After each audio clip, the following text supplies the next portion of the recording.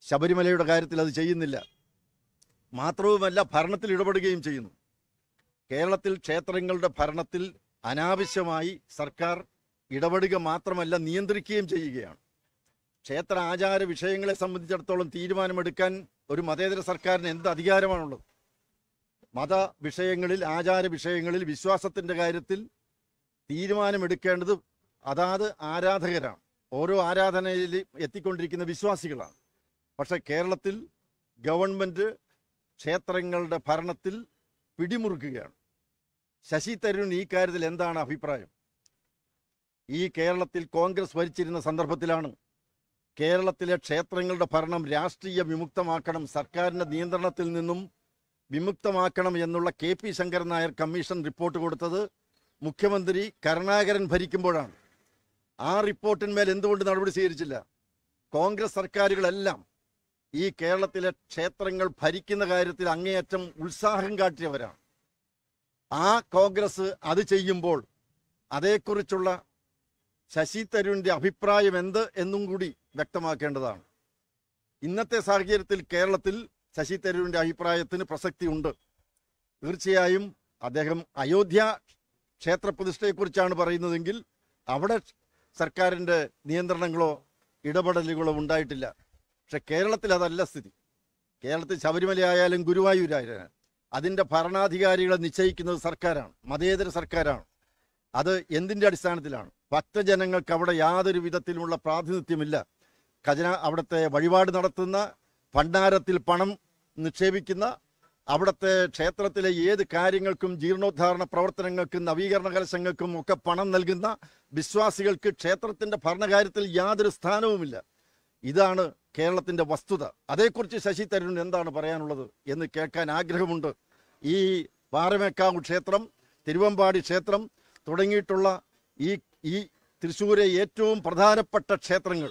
ആ ക്ഷേത്രങ്ങളിൽ നിന്നും വലിയ കോടിക്കണക്കിന് രൂപ വസൂലാക്കാൻ വേണ്ടി കേരള ഈ കൊച്ചിൻ ദേവസ്വം ബോർഡ് ശ്രമിക്കുന്നതും സർക്കാരിന്റെ അനുമതിയോടുകൂടിയാണ്. സർക്കാരിന് പണം ഉണ്ടാക്കി കൊടുക്കാനാണ്. സർക്കാരിന്റെ നിയന്ത്രണത്തിലേക്ക് ക്ഷേത്രങ്ങളെ മറ്റ് ക്ഷേത്രങ്ങളെ കൂടെ കൊണ്ടുവരുവാൻ വേണ്ടിയാണ്. മറ്റ് സ്വതന്ത്രമായി പ്രവർത്തിച്ചുകൊണ്ടിരിക്കുന്ന ക്ഷേത്രങ്ങളെ സ്വന്തം വരുതിയിൽ കൊണ്ടുവരാനാണ് സർക്കാർ ശ്രമിച്ചുകൊണ്ടിരിക്കുന്നത്. ഇത് അപകടകരമാണ്. ഇത് ആരാധനാ സ്വാതന്ത്ര്യത്തിന്റെ ധ്വംസനമാണ്. ഈ കേരളത്തിൽ ഹൈന്ദവ സഹോദരങ്ങൾക്ക് ഭരണഘടനാദത്തമായിട്ടുള്ള മതസ്വാതന്ത്ര്യത്തിന്റെ ധ്വംസനമാണ്. അതുകൊണ്ട് ഇത്തരം നീക്കങ്ങളിൽ നിന്നും സർക്കാർ പിൻവാങ്ങണം എന്നാണ് എനിക്ക് അഭ്യർത്ഥിക്കാനുള്ളത്. കൊച്ചിൻ ദേവസ്വം ബോർഡും ഈ നീക്കത്തിൽ നിന്നും പിന്മാറേണ്ടതാണ്. അതെ. തീർച്ചയായിട്ടും കേന്ദ്ര സേന ഭക്തജനങ്ങളുടെ അവിടുത്തെ തിക്കും തിരക്കും വേണ്ട വിധത്തിൽ മാനേജ് ചെയ്യാൻ ഏർ കേന്ദ്രസേന ഏർപ്പെടുത്തേണ്ടതാണ്. ആ അഭിപ്രായം വളരെ വ്യക്തമാണ്. എന്തുകൊണ്ടത് ചെയ്യുന്നില്ല? ഇന്നവിടെ ലക്ഷക്കണക്കിന് ആളുകളെ മത മകരവിളക്ക് കാലത്ത് യാതൊരു കുഴപ്പവും കൂടാതെ കഴിഞ്ഞ കാലങ്ങളിൽ അവിടെ കയറ്റി വിട്ടിട്ടുണ്ട്. ശബരിമല ക്ഷേത്രത്തിലെ പ്രശ്നമെന്ന് പറയുന്നത് ക്രൗഡ് മാനേജ്മെന്റ് ഇല്ല എന്നുള്ളതാണ്. ക്രൗഡ് കൺട്രോളാണ് അവിടെ ഇവിടെയും കാട്ടിലും ഒക്കെ തടഞ്ഞു നിർത്തിയിടുകയാണ്. അവർക്ക് വെള്ളമില്ല കഴിക്കാൻ ആഹാരമില്ല മലമൂത്ര വിസർജനം ചെയ്യാനുള്ള സൗകര്യമില്ല താമസിക്കാനുള്ള സൗകര്യമില്ല. ഇങ്ങനെ അവരെ ഇട്ട് പീഡിപ്പിക്കുകയാണ്. ഇത് മതപീഡനമാണ്. അവർക്ക് ചികിത്സിക്കാനുള്ള സൗകര്യങ്ങൾ ഏർപ്പെടുത്തി കൊടുക്കണം. ആവശ്യമായുള്ള ഭക്ഷണം കൊടുക്കണം. എന്തുകൊണ്ടാണ് അവിടുത്തെ സേവന സന്നദ്ധ സംഘടനകളെ ശബരിമലയിൽ അന്നദാനത്തിന് എന്തുകൊണ്ട് അവർക്ക് അനുവാദം നൽകുന്നില്ല? കുടിക്കാൻ വെള്ളം കൊടുക്കുന്നതിന് ഈ സേവന സന്നദ്ധകൾ എന്തുകൊണ്ട് അനുവാദം നൽകുന്നില്ല?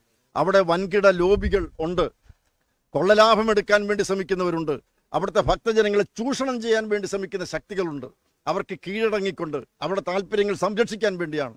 ശബരിമലയിൽ അയ്യപ്പന്മാരെ പിഴിഞ്ഞെടുക്കാൻ വേണ്ടിയുള്ള ശക്തികൾക്ക് എല്ലാവിധ സൗകര്യങ്ങളും ചെയ്തു കൊടുത്തുകൊണ്ടിരിക്കുന്നത് ഭക്തജനങ്ങൾ കഷ്ടപ്പെടുകയാണ്. അവർ ഓരോ ഭക്തനും അവിടെ നിന്നും വരുന്നവർ പറയുന്ന കഥ കേട്ട് കഴിഞ്ഞാൽ ഒരു മൃഗങ്ങളോട് കാണിക്കുന്ന ഒരു ഔദാര്യം പോലും. എന്തുകൊണ്ട് ഈ അയ്യപ്പ ഭക്തന്മാർ മനുഷ്യരാണ് എന്നുള്ള പരിഗണന പോലുമില്ലാതെ ഒരു മനുഷ്യത്വം പോലുമില്ലാതെ എന്തുകൊണ്ടാണ് അവരോട് പെരുമാറുന്നത്? സർക്കാർ ഇതിന് സമാധാനം പറയണം. നാനൂറ് കോടി രൂപയാണ് ഒരു വർഷത്തെ വരുമാനം. ഈ നാനൂറ് കോടി ലഭിക്കുന്ന ദേവസ്വം ബോർഡ് എന്ത് ചെയ്യുന്നു?